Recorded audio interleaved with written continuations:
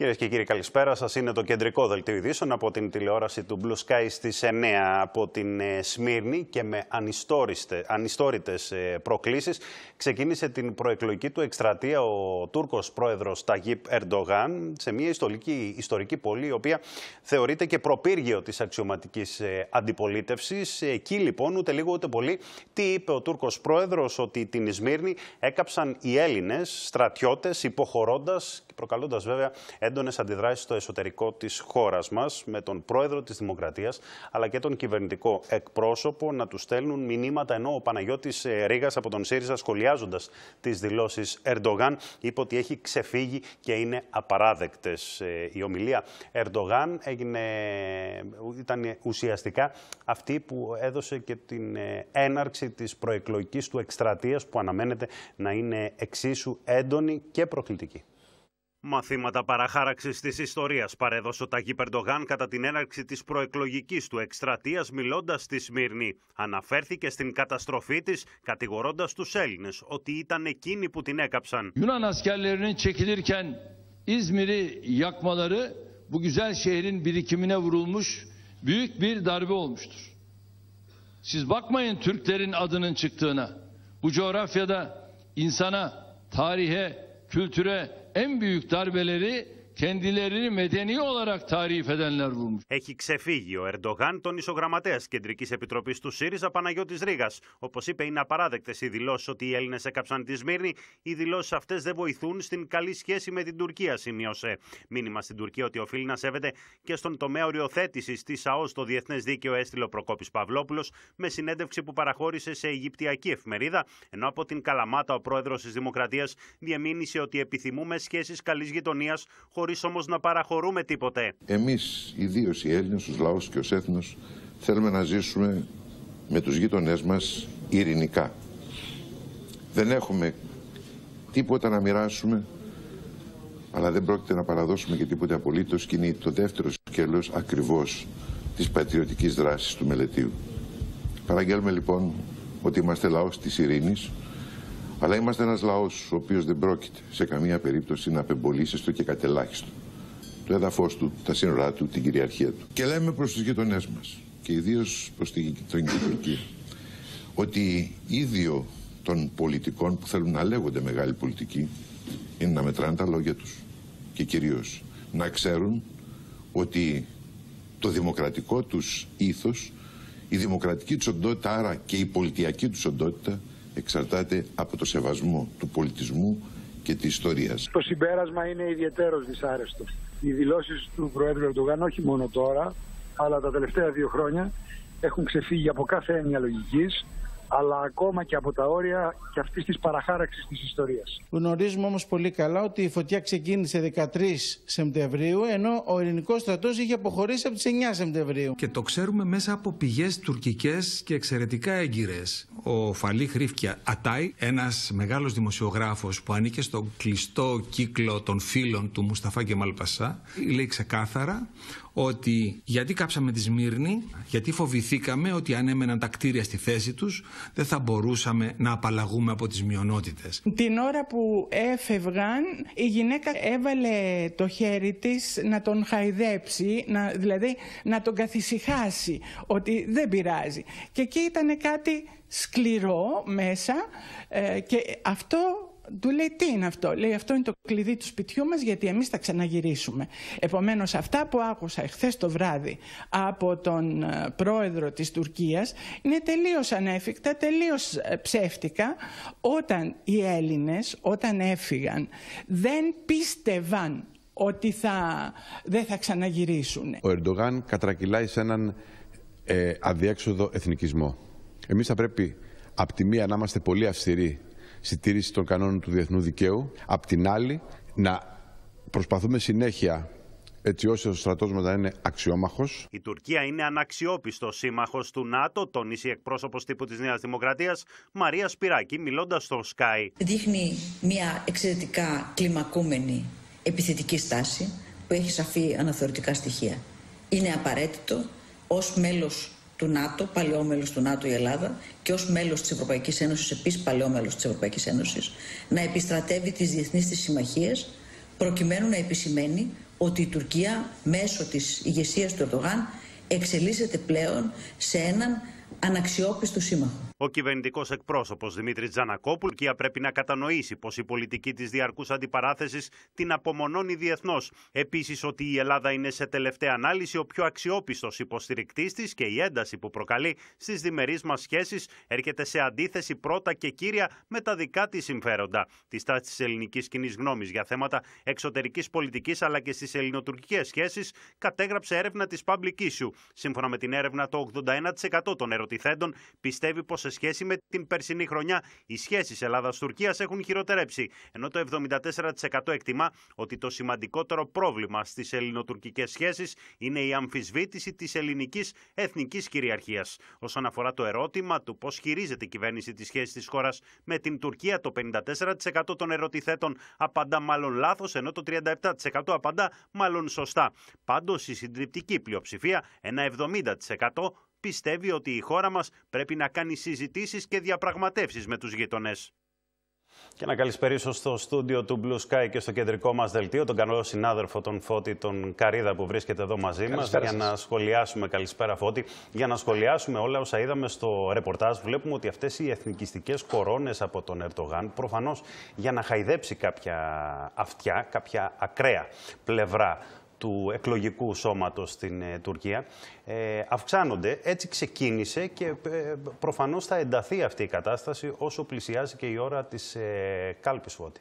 Σίγουρα, πάντως με την παραχάραξη της ιστορίας, γιατί περί αυτού πρόκειται στο συγκεκριμένο κομμάτι και έτσι κι αλλιώς είναι καταγεγραμμένο στην παγκόσμια βιβλιογραφία ότι η φωτιά στη Σμύρνη ξεκίνησε 7 ημέρες αφού έφυγε ο ελληνικός στρατός από εκεί. Και είναι αδιαμφισβήτητο. Και συγκεκριμένα από την Αρμένικη συνοικία και ακόμα πιο συγκεκριμένα από την εκκλησία του Αγίου Νικολάου στην οποία, ε, η οποία την ανατείναξαν ε, οι Τούρκοι και αυτό μάλιστα που είπε και ένας ε, αναλυτής προηγουμένως στο, στο ρεπορτάζ σας ότι οι Τούρκοι έπρεπε να ξεκαθαρίσουν το κομμάτι των μειονοτήτων μία για πάντα και γι' αυτό ήταν ο λόγος που έκαψαν τη Σμύρνη.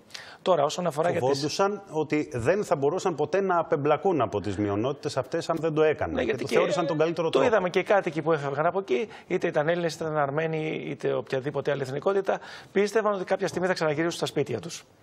ε, τώρα όσον αφορά την ε, προκλητικότητα αυτή, στην, η οποία γίνεται και πιο έντονη, είναι σαφές σε ποιους απευθύνεται στην Τουρκία ο κύριος Ερντογάν. Ε, τα, τα μηνύματα πάντως από τη διεθνή σκηνή δεν είναι καλά για αυτόν. Η Διεθνής Αμνηστία πριν τέσσερις ημέρες στην έκθεσή της ε, μιλάει για ένα κλίμα φόβου ε, στη, στη διπλανή χώρα. Ε, έχει, έχει φυλακίσει χιλιάδες ανθρώπους, έχει διώξει από τις δουλειές τους ε, άλλους τόσους. ε, υπάρχει ένα πολύ κακό κλίμα και μέσα σε αυτό το κακό κλίμα ε, γίνονται οι εκλογές και από το State Department υπήρχε, υπήρξε ανακοίνωση επίσημη που εξέφραζε ανησυχία κατά πόσον θα μπορέσουν αυτές οι εκλογές να πραγματοποιηθούν μέσα μάλιστα στην, ε, με την ισχύ της κατάστασης εκτάκτου ανάγκης ε, ακόμη, ε, κατά πόσον θα μπορέσουν να διεξαχθούν σε κλίμα ελεύθερο και δίκαιο. Μα όταν ισχύουν αυτά τα μέτρα εκτάκτης ανάγκης τα οποία έχει βάλει μετά το, την αποτυχία του πραξικοπήματος, είναι αδύνατο να γίνουν δημοκρατικές εκλογές. Είναι σαφές αυτό το κομμάτι, αφού έχει, έχει φυλακίσει τη μισή αντιπολίτευση. Τώρα το θέμα είναι κατά πόσον ε, θα μέσα σε αυτήν την προεκλογική περίοδο θεωρείς Φώτη έχουμε να φοβόμαστε και για ένα ενδεχόμενο ε, θερμό επεισόδιο ή κατά πόσον θα ρισκάρει κάτι τέτοιο η πλευρά του Ερντογάν μέσα σε αυτή την εθνικιστική έξαρση; Το ζήτημα δεν είναι αν θέλει να το προκαλέσει. Εγώ πιστεύω ότι ίσως δεν θέλει να το προκαλέσει. Όμως όταν να συμβαίνουν τέτοια γεγονότα είτε, είτε στον Εύρο είτε στα νησιά, αυτό μπορεί να έρθει από μόνο το ένα θερμό επεισόδιο. ε, το ζήτημα είναι πώς εμείς θα αντιμετωπίσουμε ε, αυτές τις προκλήσεις. Δηλαδή μέχρι ποιο βαθμό θα υποχωρούμε αν αποφασίσουμε ότι πρέπει να απαντήσουμε, θα πάρει διαστάσεις το θερμό επεισόδιο. Η ελληνική πλευρά, η ελληνική κυβέρνηση θεωρεί ε, συνολικά ότι ανταπεξέρχεται στο ρόλο που έχει απέναντι σε αυτήν την ε, προκλητικότητα. Εγώ νομίζω ότι μετά την επίσκεψη Ερντογάν στη χώρα μας η κατάσταση ξέφυγε τελείως. Θεωρώ ότι πρέπει να έγιναν κάποιοι λάθος χειρισμοί. Μάλιστα. Να πάμε παρακάτω, να προχωρήσουμε στο δελτίο μας και θα επανέλθουμε με τον Φώτη Καρίδα. Να έρθουμε στην οικονομική τώρα επικαιρότητα. Η πολιτική αντιπαράθεση συνεχίζεται λοιπόν για την οικονομία και την καθαρή έξοδο για την οποία μιλά η κυβερνητική πλευρά από το πρόγραμμα, γεγονός που αμφισβητούν τα κόμματα της ε, αντιπολίτευσης, θυμίζοντας τα μέτρα τα οποία έχει συμφωνήσει η κυβέρνηση από τον Αύγουστο και μετά. Το βασικότερο βέβαια είναι η μείωση στις ε, συντάξεις. Η μεταμνημονιακή εποπτεία για την ε, Ελλάδα και η απομείωση του χρέους θα εξεταστούν τις επόμενες εβδομάδες, τόνισε ο Γάλλος υπουργός ε, Οικονομικών Μπρουνό Λεμέρ, ενώ ο Γερμανός ομολογός του, ο Σόλτς, δεν άνοιξε ακόμη τα χαρτιά του για τις προθέσεις του απέναντι στην χώρα μας. Φέρεται μάλιστα σύμφωνα με διεθνή μέσα ενημέρωσης να ασκούνται πιέσεις στην γερμανική κυβέρνηση και στο Γερμανικό Υπουργείο Οικονομικών και τον νέο, ε, τον αντικαταστάτη του Βολκαν Σόιμπλε, προκειμένου να δεχθεί τα μέτρα για την ελάφρυνση του ελληνικού χρέους. Παρασκηνιακές διαβουλεύσεις αλλά και πιέσεις προς την γερμανική κυβέρνηση βλέπουν τα διεθνή μέσα ενημέρωσης για την ελληνική οικονομία και τα μέτρα ελάφρυνσης του χρέους. Για μεταμνημονιακή εποπτεία της χώρας που θα εξεταστεί τις επόμενες εβδομάδες σε συνδυασμό με το ζήτημα της απομείωσης του χρέους, έκανε λόγο ο Γάλλος Υπουργός Οικονομικών Μπρούνο Λεμέρ κατά τη διάρκεια κοινή συνέντευξης τύπου που παραχώρησε με τον Γερμανό ομολογό του Όλαφ Σόλτς μετά το ΕΚΟΦΗΝ to complete the fourth review, and we also started to discuss the post-program framework for the treatment of uh, the debt. Η επιβεβαίωση των προβλέψεων Τσακαλώτου ότι η χώρα θα βρίσκεται σε σφιχτή παρακολούθηση μετά το τέλος του προγράμματος οδήγησε σε ένα νέο γύρο πολιτικής αντιπαράθεσης. Η Ελλάδα θα μπει ε, στον αστερισμό της κανονικότητας σε σχέση με τις δεσμεύσεις που απορρέουν ε, από τις συνθήκες που υπάρχουν στην ΕΕ και οποιαδήποτε κατάσταση μετά την ολοκλήρωση του τρίτου προγράμματος θα κινείται ακριβώς στα πλαίσια, με συγχωρείτε, αυτών των συνθήκων.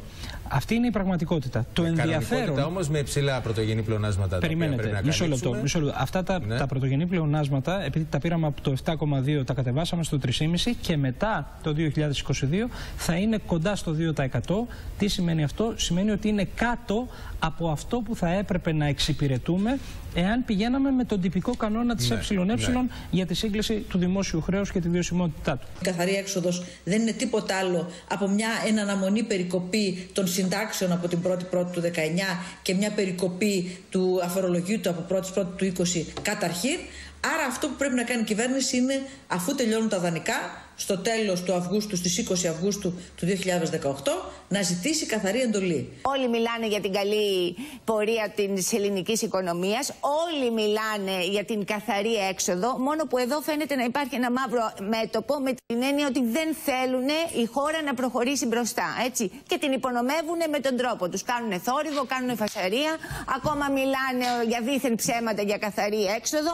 Καθαρή έξοδο σημαίνει δεν έχει άλλα μνημόνια, δεν έχει άλλα μέτρα. Πώς αισθάνεστε που με βάση το υπερπλεόνασμα το οποίο επέρεστε τώρα ότι έχετε, πρώτης πρώτου 19 θα περικόψετε στους συνταξιούχους μεσοσταθμικά στα επόμενα τρία χρόνια 20 δισεκατομμύρια. Πώς αισθάνεστε, κύριε Αυλονίτου, αισθάνεστε καλά γι' αυτό; Πάμε σε, μια, α, σε ένα κλείσιμο του τρίτου μνημονίου, α, μια καθαρή λύση, χωρίς πιστοληπτική γραμμή. Από εκεί και πέρα ε, είναι βέβαιο ότι δημιουργούνται προϋποθέσεις και συζητήσεις ε, όσον αφορά την υποχρέωση την οποία, την οποία έχουν οι θεσμοί ε, μνημονιακοί όσον αφορά το χρέος. Κουράστηκε ο πολίτης να ακούει την ξύλινη γλώσσα. Λέμε, ε, απλό, αυτό πάντα το κάνουμε. Τέλος μνημονίου.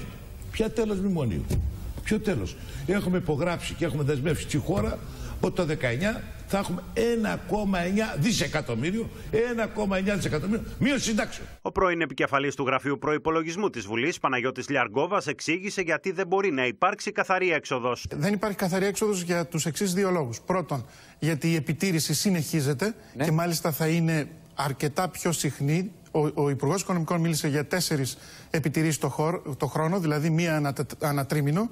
Άρα θα έχουμε αυστηρή εποπτεία. Και δεύτερον, γιατί υπάρχουν μέτρα. Είναι ψηφισμένα μέτρα, πολλά εξ αυτών, όπως αυτό για τη μείωση των συντάξεων, όπως αυτό για την διεύρυνση της φορολογικής βάσης, το 19 και το 20. Στην εκτίμηση ότι η Ελλάδα αλλάζει οριστικά σελίδα, προέβη από το βήμα της ετήσιας συνέλευσης του Συνδέσμου Ελληνικών Βιομηχανιών Τροφίμων, ο επικεφαλής εκπρόσωπος τύπου της Κομισιόν Μαργαρίτης Κινάς. Όπως ανέφερε μετά από 10 χρόνια πρωτοφανούς προσαρμογής, η Ελλάδα μπαίνει σε μια νέα φάση, η οποία ωστόσο δεν θα πρέπει να μας διαφεύγει ότι είναι κρίσιμη. Πλέον, όπως είπε, ανοίγει ο δρόμος για ένα νέο άξιο και σύγχρονο κράτος και όλοι μαζί θα πρέπει να έχουμε αυξημένη θέληση για την εφαρμογή των μεταρρυθμίσεων που έχουν συμφωνηθεί. Για να δούμε τώρα, Φωτικαρίδα, πόσο καθαρή εντός εισαγωγικών μπορεί να είναι αυτή η έξοδος με τα δεδομένα που έχουμε μπροστά μας. Πόσο καθαρή έτσι όπως ε, ισχυρίζεται και ο ίδιος ο Πρωθυπουργός επανειλημμένα και ε, αξιωματούχοι της ε, κυβέρνησης, κατηγορώντας μάλιστα τα κόμματα της αντιπολίτευσης που λένε ότι κάτι τέτοιο θα ήταν αδύνατο. Κανένας σοβαρός άνθρωπος δεν μπορεί να πιστέψει ότι έχουμε καθαρή έξοδο. Ε, αν σκεφτούμε ότι τα μέτρα λιτότητας ε, θα μπουν περίπου 5,1 δις πάνω, μαζί με τις περικόπες των συντάξεων, μαζί με την ε, κατάργηση πολλών ε, φοροελαφρύσεων. Καταλαβαίνουμε λοιπόν ότι η επόμενη χρονιά θα είναι μια πάρα, πάρα πολύ δύσκολη χρονιά και για τους συνταξιούχους, αλλά και γενικότερα για την, ε, για την κοινωνία. Δεν μπορεί λοιπόν να συζητάμε για καθαρή έξοδο. Καθαρή, έξοδο, καθαρή έξοδος, με συγχωρείτε, θα ήταν εάν δεν υπήρχαν αυτά τα μέτρα, αν μπορούσαμε άμεσα να εισπράξουμε αυτά που μας έχουν υποσχεθεί οι Ευρωπαίοι. έχουν υποσχεθεί ότι θα στήριζαν τη, τη, χώρα και θα έδιναν πάρα πολλά πράγματα στο πακέτο Juncker, αν θυμάσαι, mm Βαγγέλη. Το οποίο αυτό δεν το βλέπουμε να έρχεται άμεσα. Ούτε βλέπουμε άμεσα την ελεύθερη του χρέους. Ήρθε ο Γιούνκερ, το πακέτο δεν το είδαμε ακόμη. Ήρθε και ξαναήρθε ναι. ο Γιούνκερ. Τώρα το, ε, έχουμε μπροστά μας και το θέμα της, ε, των μέτρων για την απομείωση του χρέους. Όπως ακούσαμε και τον Γάλλο Υπουργό Οικονομικών να λέει μέσα στις επόμενες εβδομάδες θα τρέξει η διαδικασία αυτή μαζί με τον ορισμό της ε, μεταμνημονιακής εποπτείας που θα έχει η χώρα μας. Δεν θα ναι, είμαστε πλέον είπε... ελεύθεροι να κάνουμε ό,τι, ό,τι θέλουμε. Θα υπάρχει Όπως είπε και ο κ. Σακαλώτος, θα έχουμε εποπτεία τέσσερις φορές το χρόνο. Mm -hmm. Ο κ. Τσακαλώτος αρχικά μίλησε και για, για αξιολόγηση, μετά το μάζεψε και ε, έγινε εποπτεία, γιατί ε, τρόμαξε και δυσαρέστησε κιόλας το Μαξίμου, όπως ε, πληροφορηθήκαμε δημοσιογραφικώ αυτό, το ότι μίλησε για αξιολογήσεις. Ε, μετά το Eurogroup, μετά το πέρας του Eurogroup, μίλησε πλέον για εποπτεία η οποία θα υπάρχει και μένει να δούμε ποια θα είναι μέσα Εγώ στο... νομίζω ότι όσο προχωράμε προς τον Αύγουστο θα βγουν και άλλα ψηλά γράμματα τα οποία δεν λέγονται ακόμα ή δεν έχουν ακουστεί ακόμα. Δεν πιστεύω ότι είναι καθαρή έξοδος αυτό. Πριν περάσουμε στο επόμενο μας θέμα, θα ήθελα να, να σε ρωτήσω και για αρκετά δημοσιεύματα τα οποία βλέπουμε σε σχέση με το χρόνο των εκλογών, των εκλογών το, τις οποίες ζητά η αξιωματική αντιπολίτευση πλέον με κάθε ευκαιρία τα πολιτικά καύσιμα της ε, κυβέρνησης. Τελείωσαν, είπε χαρακτηριστικά σήμερα η εκπρόσωπος ε, τύπου της Νέας Δημοκρατίας, η κυρία Σπυράκη. Κοίταξε να δεις, όπως διέρευσε και σε μια κυριακάτικη εφημερίδα, ε, ο Τσίπρας είπε ότι θα πάμε σε εκλογές ε, του χρόνου, κανονικά. ε, εγώ νομίζω ότι ε, το διέρευσε επίτηδες. Εγώ πιστεύω ότι θα κάνει εκλογές είτε το Σεπτέμβριο είτε το Μάιο. Πιο πιθανό, εγώ το βλέπω ότι θα κάνει το Σεπτέμβριο. Γι' αυτό και η Νέα Δημοκρατία ε, βλέπεις ότι είναι πανέτοιμη. Το Σεπτέμβριο, με, αμέσως μετά δηλαδή από το, την λήξη του μνημονίου, τη λήξη του προγράμματος. Ναι, ακριβώς. Ε, τον ενδιαφέρει να κρατήσει τα ποσοστά, τα, τα ποσοστά του όσο πιο ψηλά μπορεί. Οπότε, ε, εγώ πιστεύω ότι δεν θα ρισκάρει ένα δύσκολο χειμώνα ή ακόμα και αν καταφέρει να το ξεπεράσει αυτό, σίγουρα την άνοιξη θα πάμε σε εκλογές. Πάντως, με τίποτα, εγώ πιστεύω ότι δεν θα κάνει εκλογές στο τέλος της ε, τετραετίας. Μάλιστα.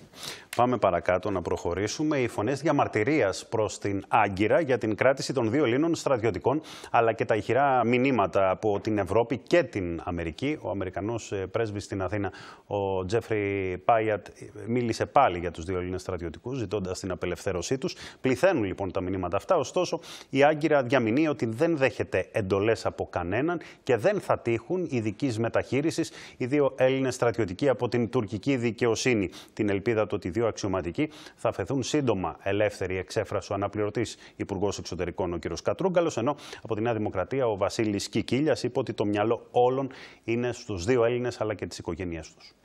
Με αμύωτη ένταση η Άγκυρα εμένει στην τακτική των εμπριστικών δηλώσεων και των προκλήσεων σε ό,τι αφορά τους δύο Έλληνες στρατιωτικούς, καθώς μετά το τουρκικό Υπουργείο Δικαιοσύνης και το Υπουργείο Εξωτερικών της γείτονος έσπευσε να απαντήσει στο Ζαν Κλοντ Γιούγκερ, που ζήτησε την άμεση απελευθέρωση του Άγγελου Μητρετόδη και του Δημήτρη Κούκλατζη. Οι Έλληνες στρατιωτικοί δεν θα αντιμετωπιστούν προνομιακά ενώπιον της ανεξάρτητης δικαιοσύνης, ανέφερε σε ανακοίνωσή του το τουρκικό Υπουργείο Εξωτερικών. Ο δε Τουρκο Υπουργός Δικαιοσύνης, Αμπτούλ Χαμίντ Γκιούλ, ούτε λίγο ούτε πολύ τόνισε πως η Άγκυρα δεν δέχεται εντολές από κανέναν. Ο αναπληρωτής Υπουργός Εξωτερικών Γιώργος Κατρούγκαλος, μιλώντας στο πρώτο πρόγραμμα της ΕΡΤ, εξέφρασε την αισιοδοξία του ότι θα υπάρξει θετική έκβαση της υπόθεσης. Εγώ ελπίζω ότι ακριβώς επειδή κλιμακώνεται η πίεση από πολλές πλευρές, οι στρατιωτικοί μας δεν θα αργήσουν να επιστρέψουν. Ε, βέβαια, αυτό εξαρτάται από πολλούς παράγοντες. Είναι προφανές ότι η προεκλογική περίοδος ε, δυσχεραίνει οποιαδήποτε χειρονομία καλής θέλησης. Η Ουάσιγκτον είναι πλήρως προσιλωμένη στην υπόθεση και ελπίζουμε ότι σύντομα θα επιστρέψουν σπίτι τους. Οι δύο Έλληνες στρατιωτικοί τόνισε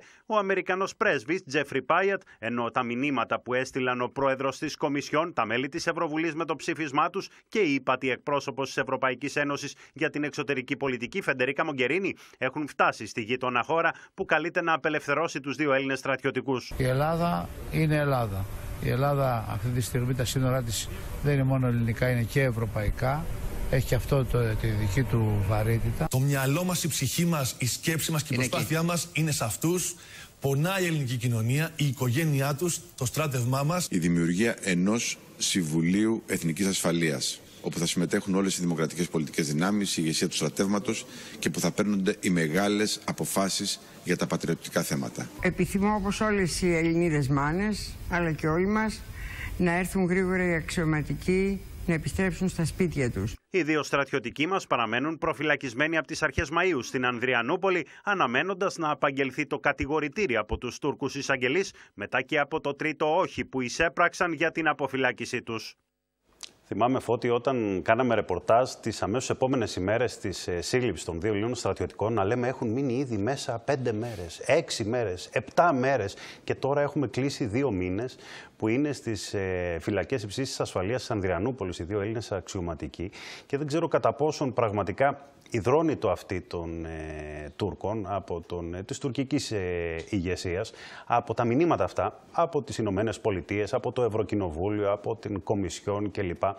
Κατά πόσον υδρώνει αυτή τους και κατά πόσον θεωρείς ότι μέσα σε αυτό το χρονικό διάστημα της προεκλογικής περίοδου στην ε, Τουρκία μέχρι και τις κάλπες τον, ε, του Ιουνίου, στα τέλη του Ιουνίου, ε, μπορεί πραγματικά να υπάρχει μια θετική εξέλιξη, ενδεχομένως σαν κίνηση καλής θέλησης, έτσι όπως πολλοί θέλησαν να το, να το μεταφέρουν και στον Τούρκο πρόεδρο. Δυστυχώς οι Έλληνες στρατιωτικοί μας βρέθηκαν στη χειρότερη ίσως ε, ε, χρονική συγκυρία στην Τουρκία.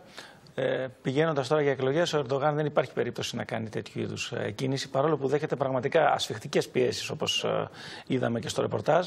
Ε, ίσως μετά τις εκλογές να ελπίζουμε κάτι περισσότερο. Αλλά αυτή τη στιγμή, εγώ δεν νομίζω ότι ε, θα δείξει τουλάχιστον σε αυτούς τους σκληροπυρηνικούς, του οποίους ελπίζει ότι.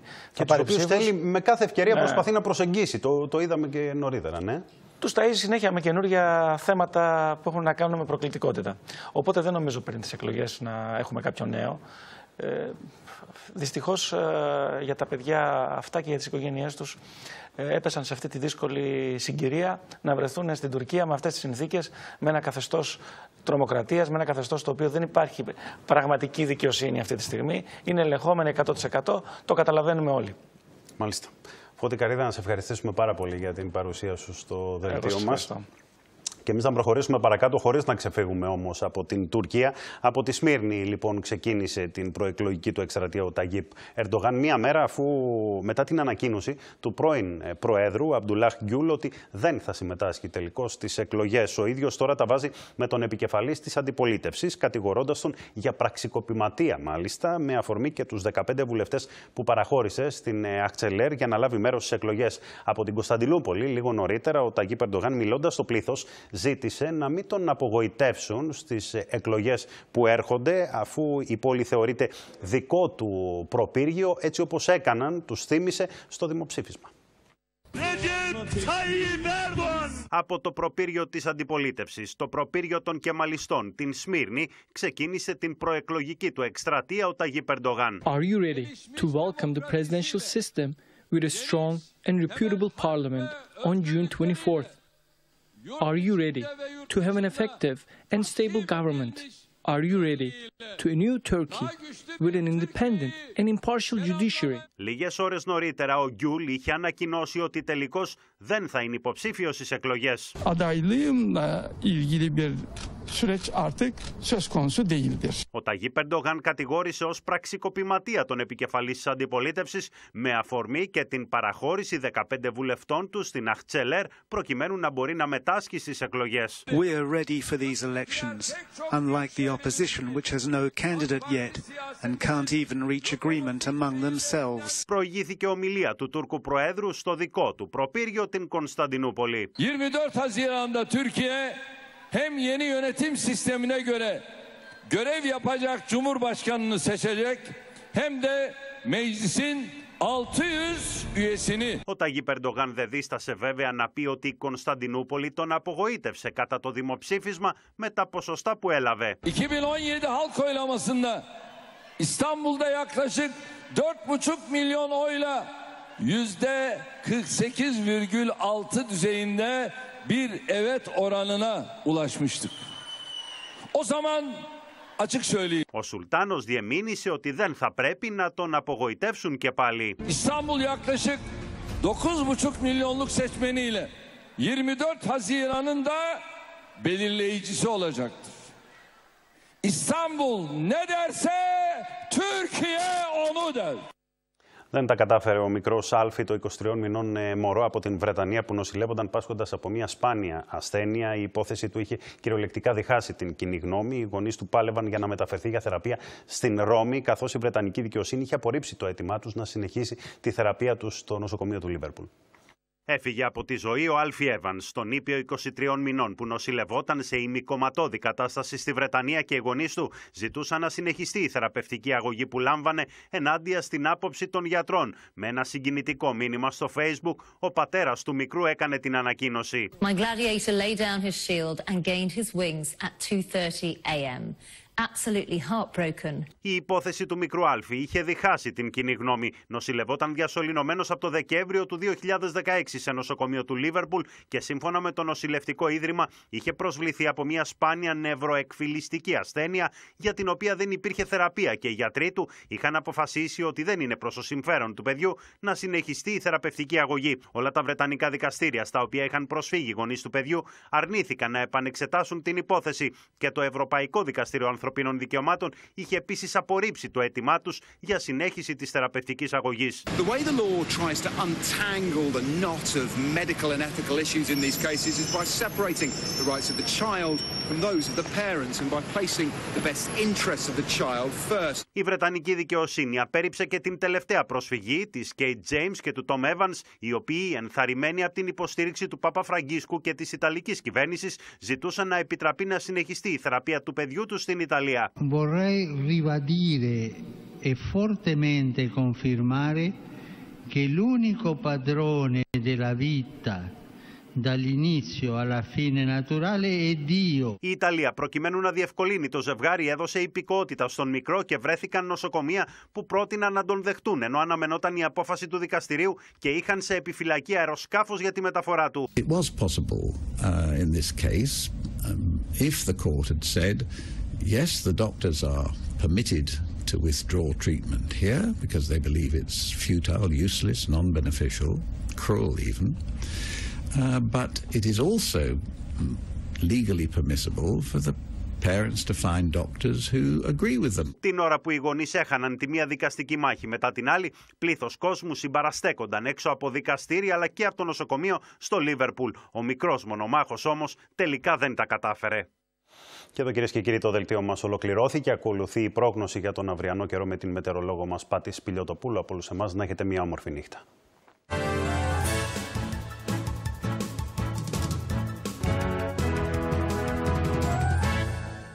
Κυρίες και κύριοι, καλησπέρα. Αύριο Δευτέρα θα επικρατούν αραιές νεφώσεις κατά τόπου πιο πυκνές και υπάρχει ενδεχόμενο για τοπικές βροχές μικρής διάρκειας στα κεντρικά και τα νότια. Ενώ το μεσημέρι και το απόγευμα είναι πιθανό να εκδηλωθούν καταιγίδες και στα ορεινά της υπηρετικής χώρας. Οι άνεμοι θα πνέουν στα πελάγη βόρη-βορειοανατολική 4 με 5 μποφόρ και στα νότια τμήματα τοπικά θα φτάνουν και τα 6 μποφόρ. Η θερμοκρασία θα κοιμανθεί στα βόρεια από 9 έως 26 βαθμούς Κελσίου, στο Ιόνιο και τα δυτικά υπηρετικά από 15 έως 27 βαθμούς, στα υπόλοιπα υπηρετικά από 12 έως 28 βαθμούς, στο βόρειο Αιγαίο από 14 έως 25 βαθμούς και στο νότιο Αιγαίο από 16 έως 26 βαθμούς. Στην Αττική, αραιές συννεφιές, κατά περιόδους πιο πυκνές, άνεμη βορειοανατολική 3 με 4 και στα ανατολικά έως 5 μποφόρ και θερμοκρασία στο κέντρο της Αθήνας από 15 έως 27 βαθμούς Κελσίου. Στη Θεσσαλονίκη, αραιές νεφώσεις κατά περιόδους πιο πυκνές, άνεμοι στο θερμαϊκό 3 με 4 μποφόρ και θερμοκρασία στην πόλη από 14 έως 24 βαθμούς. Και πάμε τώρα να δούμε τις αυριανές θερμοκρασίες σε 12 μεγάλες πόλεις.